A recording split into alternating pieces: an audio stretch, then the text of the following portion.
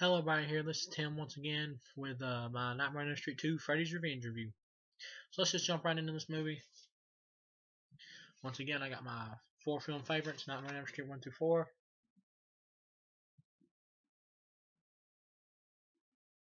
Number 2.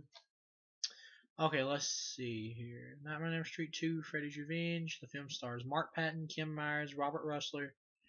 Um, Robert Englund as Freddy Krueger. Film is directed by Jack Sholder.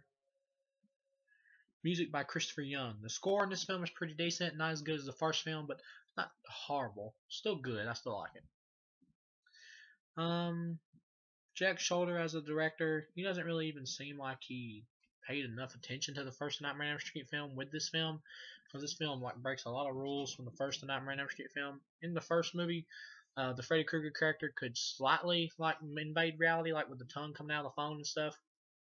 But in this film, he comes into reality at the end of it in the climax, and he has like powers galore. I mean, he has all his powers. So this film pretty much breaks all the rules set up by the first film. So that's one of the reasons why a lot of fans don't really like this movie. And I can't say I blame them too much for not liking this movie. I do think a lot of fans are way too hard on this film because I don't think this film is as bad as a lot of people say it is. Uh, I'll just go ahead and give my rating. It's a two star film of a possible four. It's not a horrible film by any means. It's an okay movie. It's not a bad movie. It's not the worst in the series at all. Um, but it's not anywhere near the best in the series either. Um, it's nowhere near as good as the first movie. The problem with this movie is it trades the uh, cool idea of the Freddy Krueger character killing people in their dreams and everything for a typical possession story, which has been done to death. Which, I mean, watch any of the Amityville horror films in that franchise and you'll know what I'm talking about. But so they pretty much make Freddy into a typical possession ghost type character, I guess. I guess he's haunting the house or haunting, haunting the house from the first movie the Elm Street house because he has yeah, he lost some of his power maybe in the first film in the battle with Nancy when she took uh, the energy she gave him back from him, and so I guess now he uh, he has to haunt the house I guess to build back up his strength or his energy, but there's never any explanation in the movie. There's no explanation given, so I'm like, eh, okay. It's like they didn't even give a fuck. But anyway, jump straight into the movie. You got Mark Patton. I like Mark Patton. He does good in the film. Yes, some people have a problem that he screams like a girl every now and then, but I would scream like a girl too in situations like this. And not everybody has a manly scream, so I don't really have a problem with that. That doesn't really bother me at all. But anyway, to jump straight into the film, this film does have the second, my second favorite opening nightmare scene in any of these films. You got uh, Mark Patton getting on a fucking uh, school bus at the beginning of the movie. The character's name is Jesse. So Jesse's getting on a school bus at the beginning of the movie. He's the new kid on the block. He's living in the Elm Street house that Nancy used to live in in the first movie. Um, and then all at once he gets on a school bus and it's fucking Freddy Krueger driving it and he runs out into the middle of the fucking desert and the ground starts coming out from underneath the school bus. It's a really cool effective nightmare sequence. I love this nightmare sequence and uh, he turns around. It's like Jesse's on the bus with these two girls, and he's like coming towards him, and he starts like scraping the top of the bus with his claws. It's like really cool. Robert Englund once again, terrific. Freddy Krueger once again, love him. He's the best. He comes towards him, gets ready to swat right towards him, and bam, and then he skips to the next scene when Jesse waking up out of bed. That was cool. I like that nightmare sequence. That was cool.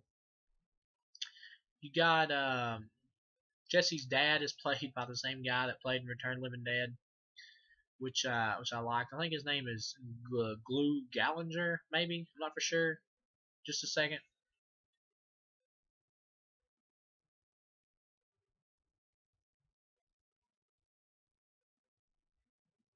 Well, Clue Gallinger, I think is how you say his name.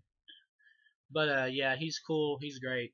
I love him. I can't get enough of this guy. He, he's one of the highlights of the film for me. Just the way he acts in the film makes me laugh so hard is unbelievable. I liked him in Return of Living Dead. And here I like him as well. Every time just Jesse has a problem or a nightmare or whatever, and his dad's like, um, "What that what that boy needs is a good kick in the ass." Tell you what he needs. He needs he needs a methadone clinic.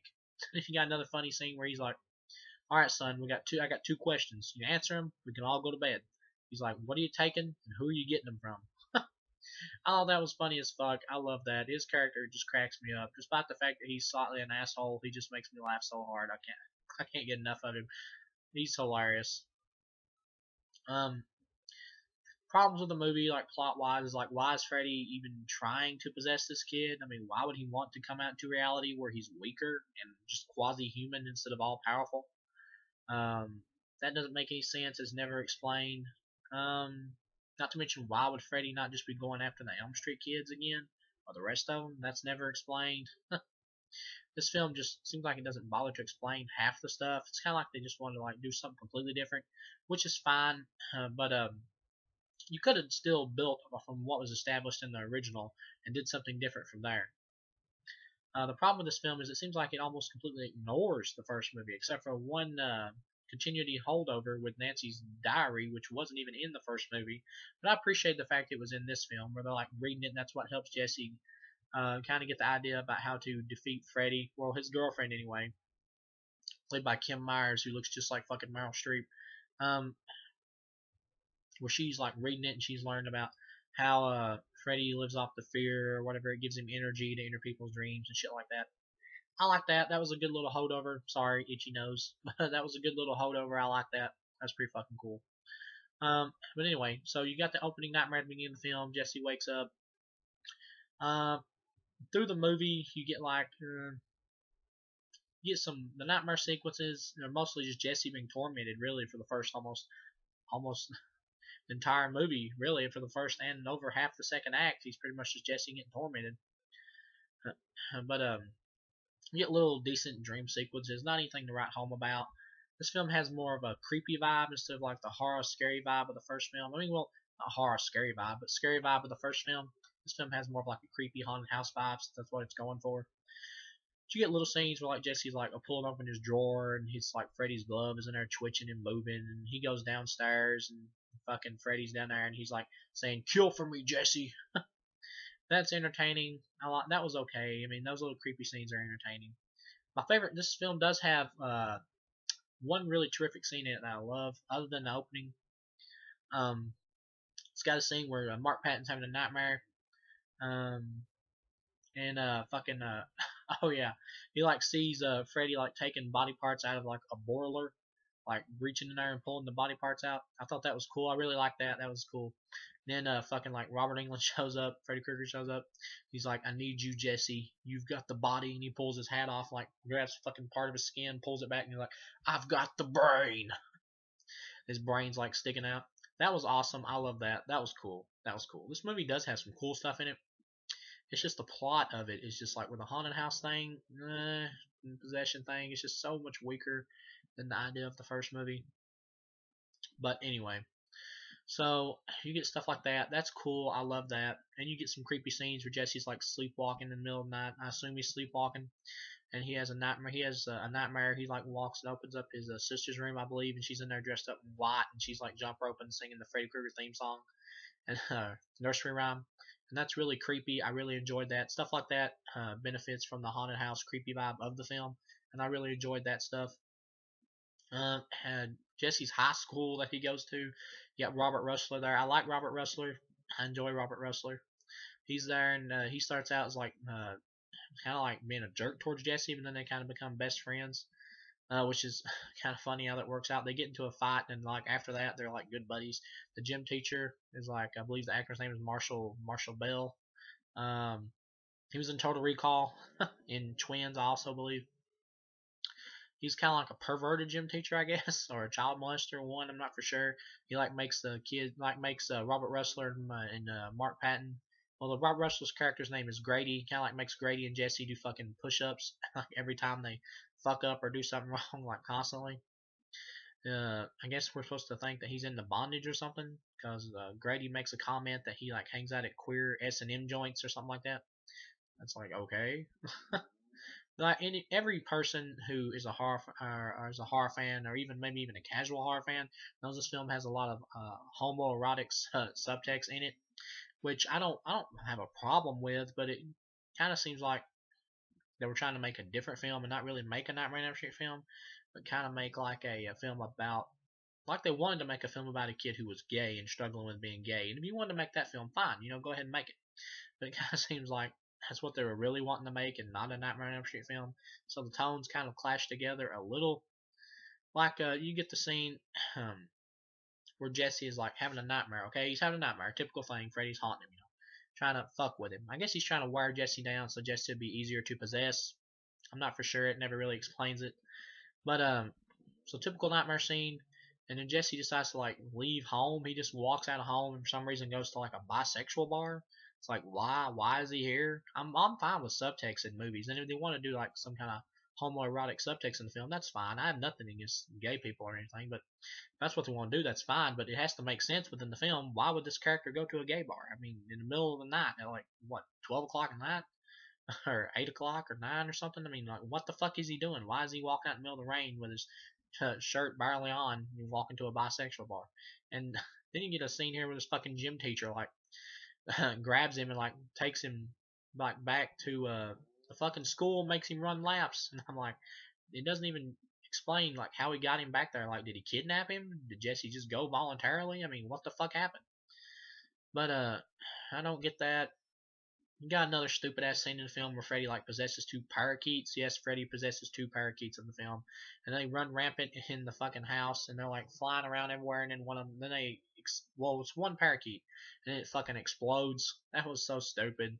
That was the most ignorant scene I've ever seen in a Nightmare on Elm Street film. That was horrible. But uh, what really helps this film is Mark Patton's uh, character of Jesse. He's cool. I like Jesse. Rob Rusler, I like him and their friendship together. I like um, these. Yeah, these two guys are really likable. Um, Kim Myers or Kim Myers or Meryl Streep, whichever one you want to call her she's fine. She's actually really the hero of the film because Jesse's more like the tormented victim, and she's kind of the one that has to step up and save him at the end. So that's kind of funny how the film just like switches towards the final, and she turns into the hero when you thought Jesse was should be the hero because he's been film's been following him through the whole movie, his character, but he's not really the hero.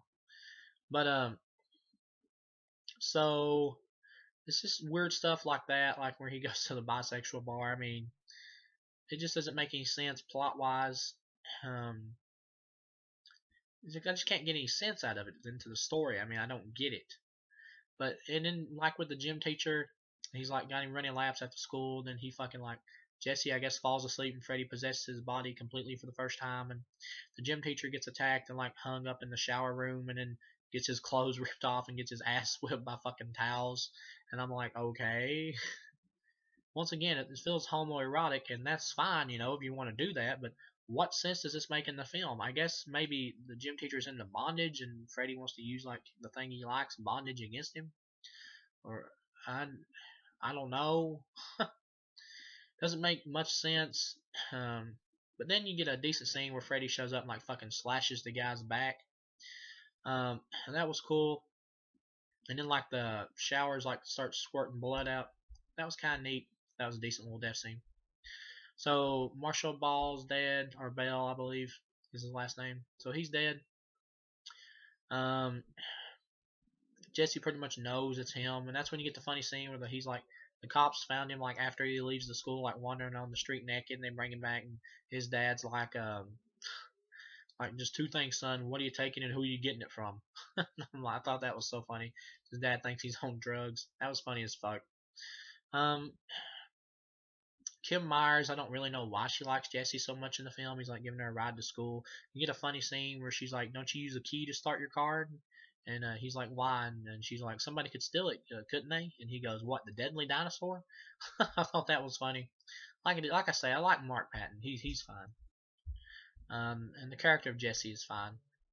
But um, uh, the uh, his girlfriend's uh, Kim Myers' character's name is Lisa, and she wants to uh, she's throwing like a fucking pool party, and uh, you get a funny scene where they're they're like asking Grady if he's coming. He says, "I can't. I'm grounded. I threw my grandmother down a flight of stairs." I thought that was funny, and he actually is grounded, so it makes me wonder did he really throw his grandmother down a flight of stairs? But I thought that was funny. That was pretty funny. Um, then you get to the fucking uh, pool party scene this is probably the highlight of the film, but also the downfall of the film. You get to the pool party scene where Jesse's like, uh, Jesse's like getting ready to have sex with Lisa, and fucking this like Freddy tongue comes out of his mouth, like lands on her breasts. He like puts it back up in his mouth and decides to get the fuck out of there. So he leaves the chick and goes to uh, Grady's room. And you get the most hilarious line here, where the character Grady is like, Um, where uh, where Noah Jesse's like talking to Grady, and he's like, "Something's trying to get inside me," and Grady goes, "Yeah, she's female, and she's waiting for you in the cabana, and you want to sleep with me." I'm like, because I I point that stuff out because the writer of the film was like, uh, he said that I think it was either the writer or the director one said that this homoerotic stuff in the film wasn't intentional, but it's like comes out so obvious. Like, how could it not have been intentional? But um, like I said, I don't have a problem with it. It's just the way that sometimes it's in the film doesn't make any sense plot wise. I don't think. But uh, so he wants Grady to watch him, stay awake and watch him. Of course, Grady falls asleep. Then you get one of the coolest scenes in the film, where fucking uh, Freddy's like coming out of his body, like ripping through his body in a really cool, effective scene. Freddy's head like starts coming out through the dude's chest, and that's like really cool. I like that. And then uh, the the claws, like of the glove coming out to the real world, it's like claws come out of Jesse's hands, his fingers. And that's really cool. And he slits like the his chest open. Freddy's like comes out through his body. That was a pretty cool scene. I like that. No CGI. I loved it. That was a cool makeup effects scene. Oh, and uh, her special effects scene. And Freddy's makeup effects in this film, he looks more like a, he looks less like a burn victim and more like a witch, kind of like a Hansel and Gretel type witch look thing to his face, kind of like a slightly hooked nose. I think Kevin Yagher did the makeup. Kevin Yagher did the makeup effects for this film, I believe, and this is my favorite Freddy Krueger look of all the films. Despite this film not being my favorite, this is my favorite Freddy look of all the films. I love this Freddy look. But um, so anyway, you got the cool Freddy look. He looks less like a burn victim and more like a, a witch, really. Um, so Freddy's out to the real world now, and you get a really cool effective death scene here where he like walks up to Grady, which is a character I like because Robert Rusler has a lot of great charisma. He fucking like grabs Robert Rusler and holds him up against the door and like chokes him to death and blood coming out of his mouth, like out of the side uh, of his mouth. That's really cool. I like that scene. It's really really intense, and the score really helps it. That's a cool scene. And then, uh, of course, it's a, he's Jesse now, back to being Jesse. And he's like looking in a mirror, and fucking uh, Robert Englund standing there, Freddy Krueger, and he's like waving his finger at him like that, like something similar to that. And fucking uh, uh, Jesse has the Freddy Krueger's glove in his hand, and he grabs it and throws it at the mirror and busts it. That's a really cool scene. Um, you get you do get some really cool scenes in the film, but you get some stupid shit too. Earlier in the film, there's a scene where Jesse's like having a nightmare at school, and like the teacher's pet snake like gets on him or something like that, and he screams, and the teacher walks there and gets the snake and says, "If you want to play with animals, Mister Walsh, join the circus." And I'm like, "What? Your fucking snake got out and got on me, man. If I was been Jesse, I'd probably sock that teacher out in the face." That was that was stupid. That was that was a stupid scene. Not needed. It felt like padding in the film. You got another stupid scene where uh, Lisa's like trying to help Jesse. Um, she thinks that he's like having some kind of psychic connection or something like that, kind of like the people that help police solve crimes. Um, so she's taking him to like the old boiler room where Freddy Krueger used to work, and it just seems kind of like padding. And they focus in on like this uh, fucking cabinet, and they open it up, and there's like a jump scare rat in there or whatever. And I'm like, okay, you didn't really need that. That was kind of a useless scene seeing Freddy Krueger's workplace though was pretty cool. but other than that, no, it, the scene was useless. But um, so you get back to the pool party. Well, not well past the pool party. Uh, but we'll get back to the pool party. No, no, no, no, no. We're back at the pool party. Yeah, that's it. I don't know why I got confused on that. It's just because I don't really like the final of this film at all. At all, I don't really like it. But anyway, here at the final, uh, after Grady's dead, Jesse comes back to Elisa's room Lisa's house. He's like trying to tell her what's happening, and then she's trying to tell Jesse to stop uh, letting Freddy feed off his fear, and he doesn't even exist. And then Freddy fucking well appears again. He comes out of him again. Uh, this is when the film stops being a Nightmare and stops being in a Nightmare on Elm Street film and becomes like a standard slasher film with Freddy now in the real world chasing after the character Lisa, like running around her own house. And I'm like, uh, just chasing around her house, and she's trying to slice him with a butcher knife, stuff like that. Just makes Freddy feel like any ordinary slasher and takes away from the coolness of him hunting people in their dreams and everything. That takes away from it, but uh, it kind of focuses in on Freddy's face and uh, uh, it's like Jesse's voice is coming out of Freddy's mouth, so it's kind of like a remnant of Jesse or a part of him is still left over, despite the fact that Freddy has took him over. So that's kind of neat. Uh, I like that. That was that was that's that's fine. And so he can't kill Lisa. Instead, he like jumps through this door and evaporates. And I'm like, how does he evaporate? How does Freddy have powers in the real world? Even in the first movie, he could kind of like just barely manipulate things in the real world. I, I get the idea that depends on how like from the dream world he could like do stuff like stick his tongue out of a phone and make phone calls or stuff like that. And I guess that depends on how many souls he has and stuff. But when he gets out into the real world here, he can like do just about seems like anything. Like yeah, he can make illusions and stuff, which he couldn't do in the first movie when he came out into the real world. So it doesn't make sense plot wise. It makes no sense. I guess if we you, you could rationalize it, you could just say, well, he has enough souls, you know, since the first movie. He can he can do a little bit in the real world, make a few hallucinations, maybe I guess, but it's still the filmmakers don't try to explain it at all. Uh, or the filmmaker, I mean, doesn't try to explain it at all, so it makes no sense. And I can see why Wes Craven would have passed on this idea because it is inferior. It is inferior to his first film. So it, you get that Freddy having abilities when he shouldn't, and when you take Freddy out of the dream world and make him into like kind of an ordinary slasher, and he's at this pool party like slashing high school kids and everything, and some of these high school kids are like six foot something, and Robert Englund's like not that tall at all. He's not a very intimidating guy.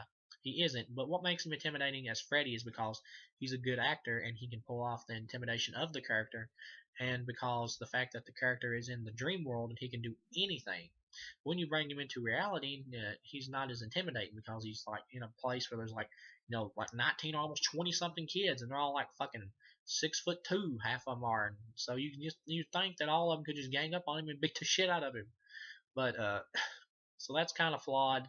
That makes Freddy Krueger seem less intimidating when you bring him into an environment like that. And there's like a whole group of people like that in the real world where he shouldn't have any powers. That makes the character seem a little bit less intimidating and that's a mistake to do with your horror villain.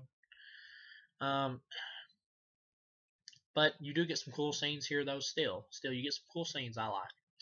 Uh, where this guy's like talking to Freddy, and he's like, uh, "It's okay, man. Just uh, calm down. I'm here to help you." And he grabs him. He's like, "Help yourself, fucker!" And just, just like slings him out of the way.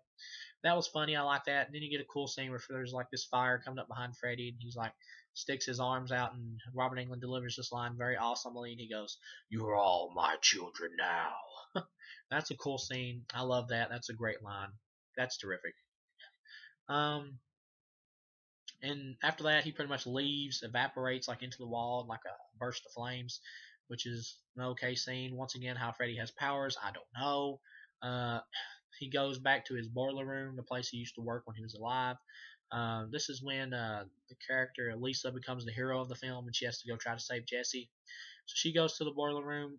Um, here you get some uh, like dogs with like human faces, which is kind of a neat idea. Not bad, but once again, how Freddy is able to do this, I have no idea.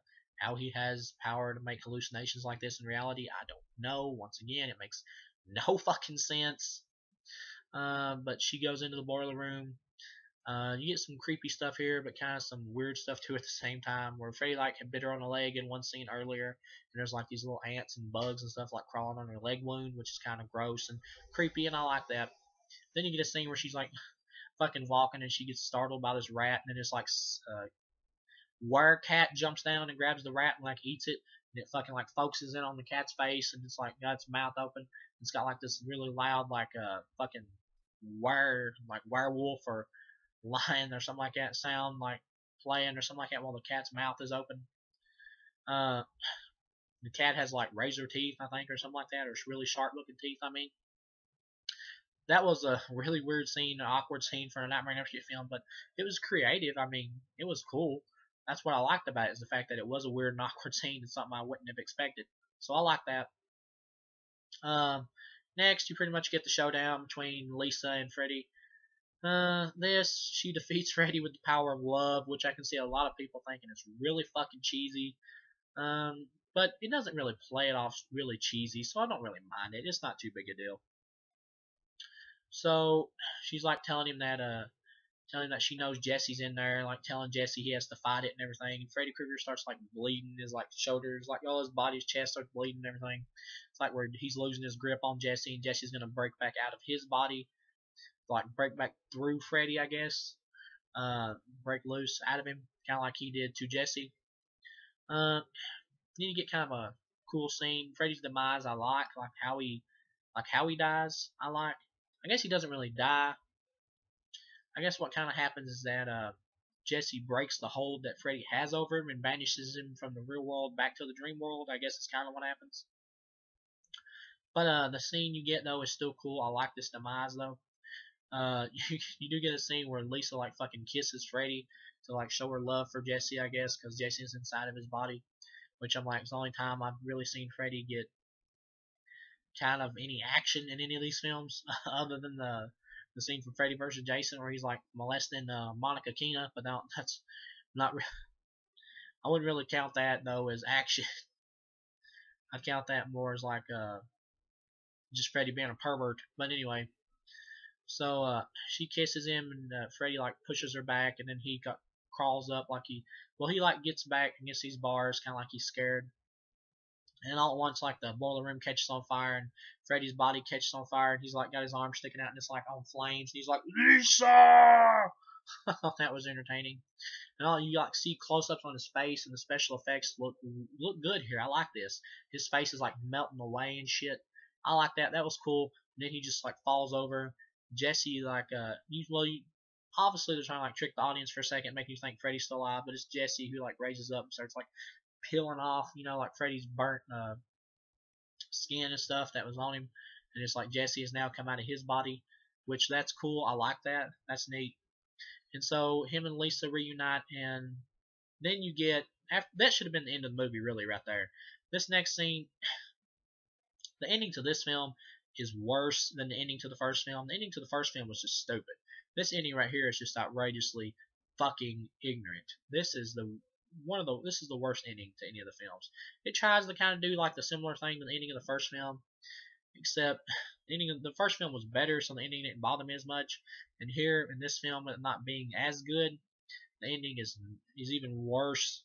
Where it seems like it's a couple days later, Jesse's fine, he gets on his school bus. So and then all at once, fucking Freddy's driving the bus again. The bus starts like running out to the desert, and then this girl who's like sitting behind them, who's like one of Lisa's friends, Freddy's arm like busts out of her chest like that, and she's like, "Don't." Well, right before he, right before that happens, she's like, "Don't worry, Jesse, it's all over." And all at once, the fucking hand bursts out because Jesse starts tripping out because he thinks the bus is speeding up, kind of like the beginning of the movie in his first nightmare. I guess he had at the beginning of the film with Freddy in it driving the bus. Uh, so he kind of the bus starts speeding up, so he thinks you know he's having another nightmare, I guess, or thinks Freddy's back. But you know, at once uh, the the person in the back seat is like, "Don't worry, Jesse, it's over." And then the fucking hand just like busts through her chest, and I'm like, then it goes off. That's it. That's the end of the movie. And I'm like, that is so fucking lame. That is the lamest ending I have ever seen in one of these films. That is such a lame ending. Well, actually, I take that back. It's not the lamest ending of the films but it's at least top two. That is one of the worst endings I have seen uh, in film. It's one of the worst, and it just comes off as so stupid and not needed. Just like forcing out, oh, there's gonna be a third one. Oh, as if you didn't fucking know that already. you don't need to show. I mean, you don't, you don't need stuff like this to happen to characters at the ends of films to let people know there's going to be a third one. Freddy is a character you can bring back. I mean, he's supernatural. Just bring him back in the next movie. Kill him off. Let that be the end of it. Then just fucking bring him back. You don't need to show him being still alive at the end of the film like this. Twice in a row. It just seems like a repeat of the first film. It's not needed. seems like a repeat of the first film, except except in even in an even lesser film. So it makes it even more fucking annoying. But other than that, this is a two star film of a possible four. It's an okay film. Like I said, even with the ending, it's not bad. The characters are likable, and I still care about the characters. Jesse Walsh, I like that character. I feel for him. Mark Patton does a good job acting wise. You feel for him. You care about him. Um, the character Grady, played by Robert Rusler, you like him. He's very likable. Uh, he's fine. Uh, Kim Myers is Lisa. She's fine. She's likable. I don't really know why she would like a guy like Jesse. I don't get that. He, I mean, Jesse's a likable character and everything, but he, I don't know. There's just not really like really a love connection between these two characters that makes you think, yeah, they love each other so much. That's just me, but they still do. They still do good acting wise, and they're still very likable. Robert Englund once again is Freddy, A plus. That's fine. He he's fine once again. The homoerotic subtext in the film I have no problem with, but the fact that it just seems like it's kind of thrown in there to a way it makes no sense with the plot. If you're gonna put subtext in the film, I still think it needs to be in a film to where it makes sense with the plot, and I don't think it makes complete sense sometimes in the plot. It just feels kind of like it's thrown in there, like Jesse going to the bisexual bar. that was just weird. That was just didn't make no sense to me at all. Why the character would do that in the middle of the night and it raining outside. That didn't make no sense at all to me. Uh, the director of the film, uh, Jack Sholder, uh, he said he didn't even feel like he needed to follow the first film. So I'm like, so you don't even care about continuing the first film. So then why the fuck are you even wanting to direct the sequel? You want to do something different. I respect that. I am fine with doing something different. I'm absolutely fine with it. But if you're gonna do something different, make sure it's still good. Taking a character really creative, that's a really creative character. I mean, taking a character like that that can kill people in their dreams and turning him into just like a simple possession type story, and then giving the film a stupid ending doesn't make me have confidence in this new direction style. I'm sorry, it don't. But like I said, this is still not a bad film. It's a two star film. It's an okay film. It's still not a bad film. I definitely recommend watching it. I can see why it would be like a cult film and some people's favorites of the franchise. But uh, it's not a bad film. It's better. It's better than Five, and it's also better than uh, Freddy's Dead. But uh, it's still it's still a misstep. It's still a misstep in the franchise, and I can see why they rebounded back with Part Three but it's still not a bad film, and I have fun watching it, and I enjoy watching it. But I still, I can still see all the faults in it, and still know that it is a misstep film. But it's not bad, and the characters are still likable, and you still care about them, and you don't want Freddy to kill them. Uh, but the ending of the film just aggravates me so much because some a lot of the stuff that happens in this film would be ignored in future installments like when Freddy kills all them teenagers at the pool party, you would think that'd be like, you know, news on the news. People would be saying, you know, some burnt motherfucker, you know, who looks really similar to this guy back in the day who was a child killer or child molester or whatever was wiping out people in this town. You think that more people would know about Freddy's existence, but it seems like in part three they're kind of like just forgot about it again. So that kind of that's kind of uh, kind of seems like they ignored that. They don't really ignore this film per se because it's still referenced in Freddy vs. Jason but they ignore some of the stuff that's happened in it, and they ignore the characters that are in this film.